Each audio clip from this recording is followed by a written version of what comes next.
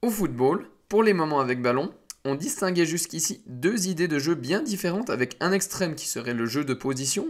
et l'autre qui serait le jeu vertical, soit un type de football patient et un impatient, tous deux affichant des comportements bien spécifiques. Alors évidemment que la majorité des équipes peuvent être considérées comme hybrides car adoptant certains comportements émanant de ces deux types de football, mais ce qui nous intéresse aujourd'hui, c'est qu'une troisième idée de jeu est en train de faire sa place au haut niveau, et elle s'oppose justement de façon radicale aussi bien au jeu de position qu'au jeu vertical, puisqu'elle remet totalement en question la notion de système de jeu. Ce type de football, c'est le relationnisme, du moins c'est comme ça que l'appelle celui qui l'a popularisé, soit l'entraîneur écossais Jamie Hamilton, que vous retrouvez sur Twitter, où il relaye les articles pertinents qu'il écrit sur Medium. Les liens sont dans la description. Je vous invite donc à le suivre, puisque c'est comme ça que j'ai découvert ce type de football et sa principale figure, Fernando Dienes, entraîneur à succès de Fluminense et depuis peu aussi sélectionneur du Brésil, où il est apparu comme la solution pour lancer une nouvelle dynamique à la Seleção, frustrante depuis plusieurs années en Coupe du Monde alors que l'effectif à disposition faisait partie des meilleurs lors des dernières éditions. Mais si Fernando Diniz fait autant parler, alors qu'il ne sera finalement sélectionneur que pour une année avant que Carlo Ancelotti ne reprenne euh, les rênes des Auriverdes, c'est parce que le jeu pratiqué par son Fluminense se distingue complètement de ce qu'on retrouve dans le paysage footballistique, et que ce jeu semble justement être ce dont les Brésiliens ont besoin pour se réconcilier avec leur équipe nationale, dont le jeu a été considéré à de multiples reprises comme européen au pays. Européen car basé sur le jeu de position qui, comme je vous l'avais expliqué dans une vidéo qui lui été dédiée il y a quelques mois, prône notamment une occupation dite rationnelle des espaces en partant de la position attribuée via le système de jeu. Si tu es ailier droit, tu le restes et tu regagnes ta position si une action t'a amené dans une autre zone. Et ça tombe bien parce que c'est justement ce que Dinis n'aime pas, qualifiant son Fluminense d'appositionnel, et a raison. Après leur sortie de balle, on assiste souvent à un rapprochement de tous les joueurs de champ vers un côté du terrain, ce qui pourrait rappeler certaines équipes qui tendent vers un jeu vertical si on fait euh, un arrêt sur image, mais l'idée de jeu est complètement différente. Dans l'un, le jeu vertical, on a affaire à une structure bien définie pour que des joueurs précis puissent contre-presser et gagner des deuxièmes ballons quand il faut forcer le jeu, ce qu'on n'hésite justement pas à faire vu qu'on va aller vite vers l'avant. Tandis que dans l'autre, on profite de cette proximité pour amener davantage d'incertitude via une structure très peu rigide. Là où les défenseurs centraux et l'attaquant central tendent à garder leur position, celle des autres joueurs est tout sauf prévisible car ceux-ci incarnent la grande liberté de mouvement qu'encourage Dinis.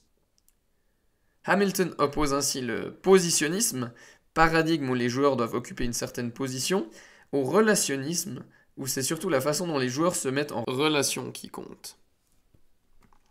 Les termes jogo de mobilidade, soit jeu de mobilité, et jogo funcional, soit jeu fonctionnel, qu'on retrouve au Brésil pour qualifier ce type de football, m'ont personnellement fait beaucoup réfléchir quant au mot relationnisme, puisque pas forcément besoin de se passer le ballon pour agir en relation. Donc je trouve jeu de proximité mobile plus adapté, mais aussi plus précis que c'est pendant en portugais.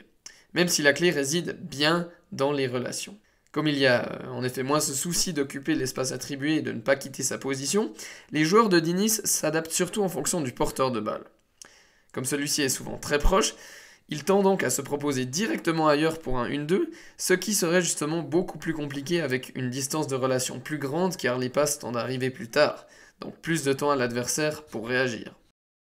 La proximité permet des choses que la distance ne permet pas, et je vais les expliquer point par point, mais c'est pour moi important que vous ayez déjà euh, cela en tête, puisque c'est comme ça qu'on arrive à comprendre qu'il n'y a pas que l'idée de générer des supériorités numériques derrière ces regroupements sur un côté du terrain que l'on voit chez Dinis. Pas étonnant donc que quand les défenseurs centraux ont le ballon, ils reviennent vers ce regroupement, cette surcharge, surtout qu'il y a d'autres moyens pour s'en sortir. Le déséquilibre vient par exemple souvent des possibilités que permettent une escadienia, échelle ou escalier en français, terme qui fait référence à la diagonale que forment deux joueurs sur la même ligne de passe. Cette structure permet non seulement de profiter d'un troisième joueur après un 1-2, mais aussi euh, l'apparition d'un autre concept, le cortalos, le fait de laisser passer le ballon vers le joueur à l'autre extrémité de la diagonale.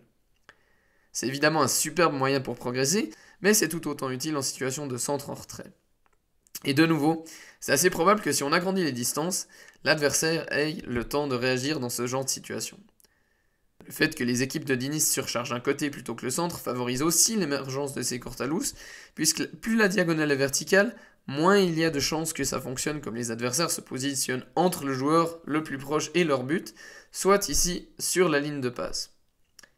Non pas donc que Dinis ait inventé le concept de 1-2 ou de Cortalus, mais il a su créer un contexte permettant de maximiser ses façons de déséquilibrer l'adversaire, et c'est justement peut-être ce contexte de jeu dans lequel le joueur brésilien est le plus à l'aise. En tout cas, c'est ce que suggère le cas Ganso, que certains considéraient même plus prometteur et talentueux que Neymar lorsqu'ils enflammaient ensemble Santos. Mais Ganso n'a jamais réussi à répondre aux attentes, pourtant revu à la baisse, une fois en Europe, d'abord à Séville, puis à Amiens. Transféré gratuitement vers Fluminense, Ganso brille depuis l'arrivée de Fernando Diniz, de quoi même trouver des rumeurs euh, quant à un possible retour en sélection. Capable de donner vie à des passes que personne n'avait vu venir, Ganso a souffert de son cruel manque de qualité athlétique comme l'accélération en Europe, mais aussi d'un type de football avec lequel il n'était pas familier, à l'image de la scène qui arrive. Ganso passe et va, comme on dit, mais Enzonzi ne va pas opter pour un 1-2 avec lui, il y a de quoi le comprendre. En cas de perte de balle, il ne pourrait pas bloquer les différentes options que l'adversaire aurait pour progresser, car tout seul au milieu. Garder sa position fait donc sens, mais on limite ainsi les possibilités de déséquilibre, chose que Fernando Diniz ne veut pas. Donc pour y remédier, on se rapproche. On laisse ainsi moins d'espace aux adversaires pour progresser en cas de perte de balle, tout en osant se proposer ailleurs, car euh, comme nos coéquipiers sont proches, il y en aura bien un qui compensera mon mouvement. Mais même si cette euh, proximité facilite le contre-pressing, il y a de quoi ne pas être à l'aise avec, ce qui peut peut-être aussi expliquer le choix de Nzonzi. C'est en effet possible qu'il ait estimé l'espace en question comme pas assez grand pour que Ganzo l'utilise, notamment parce qu'un adversaire aurait pu réagir après avoir vu le Brésilien démarrer sa course. On pourrait a priori donc estimer que ce jeu de proximité mobile ne peut fonctionner qu'avec certains joueurs qui ont énormément joué dans des petits espaces durant leur jeunesse, que ce soit dans la rue et ou au futsal, d'où le match parfait avec les joueurs brésiliens. Sauf que depuis cette saison, sûrement inspiré par le Fluminense de Diniz, Malmö et son coach Henrik Rydström montrent que quelque chose de similaire est possible en Europe, qui plus est avec beaucoup de joueurs locaux, alors que la Suède n'est pas euh, connue pour avoir beaucoup de joueurs au profil brésilien, dirons-nous. C'est quand j'ai appris ça que je me suis mis en analysant ces deux équipes, à la recherche d'autres avantages de cette proximité mobile que ceux que Jamie Hamilton a popularisés et que j'ai présentés jusqu'ici, comme le Cortalus. Avant d'évoquer les autres avantages de la mobilité, commençons par ceux de la proximité avec en premier lieu l'aimantation d'adversaires. C'est en effet très difficile de ne pas se laisser attirer par le porteur de balle quand on est aussi proche. C'est en partie pour ça que le double pivot très bas et très serré du Brighton de Dead Serbie a longtemps amené des adversaires à venir presser, ce qui libère souvent un autre joueur. Voilà pourquoi de nombreux déséquilibres de Malmö et Fluminense proviennent aussi de ce phénomène. Et si les adversaires sont réticents à venir sur le porteur, ils ne le sont souvent plus après qu'une passe soit jouée vers le joueur qui est le plus proche d'eux, car ils se mettent alors en mouvement et continuent leur course en cas de remise. A noter que ces regroupements peuvent, d'une certaine façon, aussi attirer les adversaires plus éloignés en attirant leur regard, puisque par exemple, même en étant plus éloigné du ballon, la ligne défensive est quand même relativement proche, et ça peut justement ne pas jouer en sa faveur, comme mise en évidence ici avec le défenseur qui oublie de défendre l'espace. Mais même sans être attiré d'une quelconque manière, les adversaires peuvent être plus souvent vulnérables car potentiellement plus souvent amenés à devoir changer d'orientation, puisque plus besoin d'une longue passe vers l'autre côté pour le faire. Les temps de réaction nécessaires pour coulisser font de ces moments charnières des situations propices pour exploiter une faille dans la défense, notamment en revenant dans l'autre direction. Le fait d'aller contre le courant adverse va amener un autre changement d'orientation, donc un autre moment de vulnérabilité. Et le dernier avantage net que j'ai trouvé à cette proximité, c'est qu'il est plus facile de cacher sa passe puisque la distance permet de jouer un extérieur ou un dessus du pied à l'arrêt, et ça surprend. Parce qu'une passe euh, classique peut être anticipée avec la jambe qui part en arrière et le corps qui est déjà orienté vers le récepteur, là où ce n'est justement pas le cas avec euh, l'extérieur ou le dessus du pied. Quant à la mobilité, elle complexifie d'abord les choses pour les adversaires qui défendent euh, souvent en restant fidèles à une certaine structure, au point même d'oublier en fait l'activité même de défendre, comme ça a été visible dans certains matchs de Malmö où quand l'ailier rejoint l'autre côté, le latéral continue à occuper le même espace alors qu'il ferait mieux de demander le coulissement de la ligne défensive pour pas qu'il y ait une inégalité numérique ailleurs. Il n'y a plus de danger à défendre là où il se situe, et c'est quelque chose qu'on peut euh, remarquer plusieurs fois dans, les matchs de Malmö, comme quoi c'est peut-être un signe qu'en demandant à ses joueurs d'adopter quoi qu'il arrive une structure rigide, ceux-ci savent moins bien s'adapter car finissent par s'en tenir aux consignes. Peut-être que ces non-ajustements sont dus aussi à de la fatigue cognitive, car euh, jouer contre Malmö, c'est aussi vivre des situations sans cesse différentes au cours d'un match, là où les autres équipes ont un jeu davantage prévisible. Mais cet avantage a d'abord été un inconvénient pour euh, les joueurs de Malmö, comme a témoigné quelqu'un qui avait assisté à un entraînement lors de leur pré-saison l'hiver dernier, où cette proximité mobile était quelque chose de nouveau pour eux. Le fait qu'ils n'étaient pas à l'aise est en effet sûrement lié à l'aspect cognitif, car euh, pas habitués à avoir autant de joueurs relativement proches, donc beaucoup d'informations prioritaires à considérer, tout comme des décisions auxquelles ils n'avaient peut-être depuis longtemps pas pensé, car elles allaient contre cette idée de maintenir la structure rigide qui était le moyen choisi jusqu'ici pour maximiser ses chances d'obtenir un bon résultat.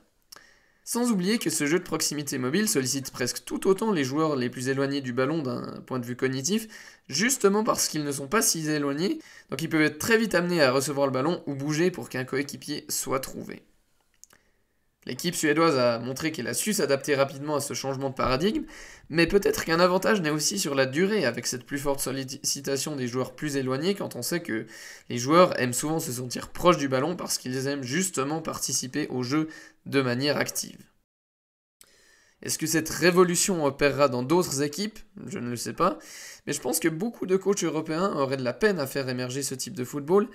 non seulement parce que certains aiment eux aussi se sentir autant importants que possible, ils voient d'un mauvais œil tout ce qui laisse un peu plus de place au chaos, mais surtout parce qu'un tel changement radical pour les joueurs nécessite du temps, et on en manque cruellement en tant qu'entraîneur. Sans oublier que Malmö a sûrement euh, un ou le meilleur effectif du championnat suédois,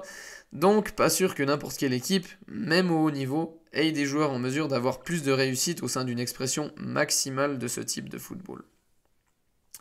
Peut-être que certains coachs attendent aussi de voir si ce succès serait toujours le même face à une équipe euh, avec un très bon pressing capable d'être aussi appositionnel. Mais quoi qu'il arrive, le jeu de proximité mobile pourra toujours se vanter d'avoir mis en lumière l'impact que peut avoir une plus grande liberté de mouvement et d'avoir certainement ouvert les yeux quant à une nouvelle conception de l'espace.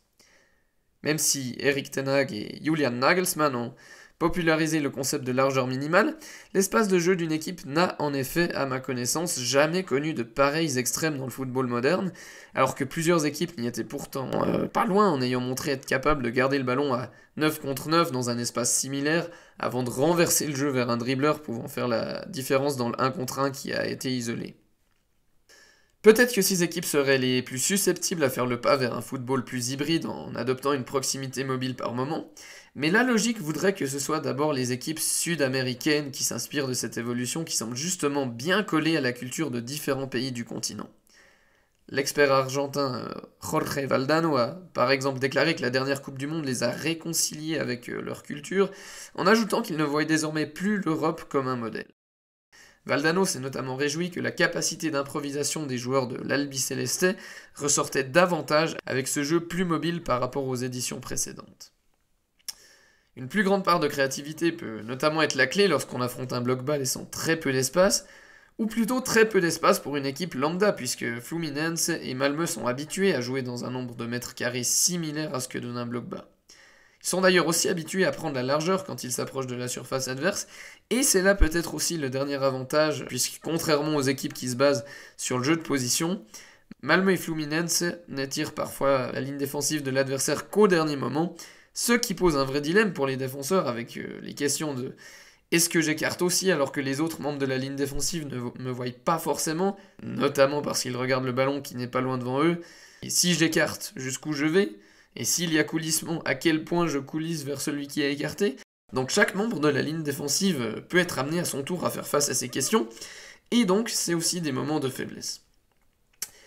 Mais force est de reconnaître que ce jeu de proximité mobile jouit aussi sûrement de sa rareté actuellement, puisque les défenses ne sont pas habituées à ces scénarios, donc attention peut-être à se poser certaines questions avant de vouloir copier Dinis et Rydström, car même si les joueurs peuvent se sentir davantage libres avec ce type de football, je pense que certains, de par leur profil, compromettraient le succès d'un tel paradigme.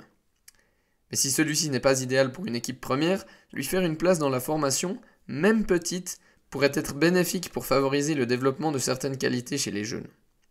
L'avenir nous dira si ce type de football va davantage se propager jusqu'à apparaître en Premier League ou Champions League dans son expression maximale, mais peut-être que ça pourrait arriver rapidement, avec succès ou non, si Dinis réussit à l'instaurer avec succès à la Célestin, et qu'en restant dans ce paradigme-là, Ancelotti mène le Brésil à la victoire lors de la prochaine Coupe du Monde. L'être humain copie en effet facilement, pour le meilleur comme pour le pire.